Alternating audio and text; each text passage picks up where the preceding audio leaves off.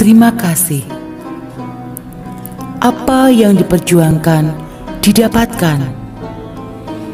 Apa yang ditunggu telah datang. Apa yang diharapkan tidak mengecewakan. Apa yang didoakan dikabulkan, dan apa yang dituju tidak hilang. Amin ya Rabbal 'Alamin.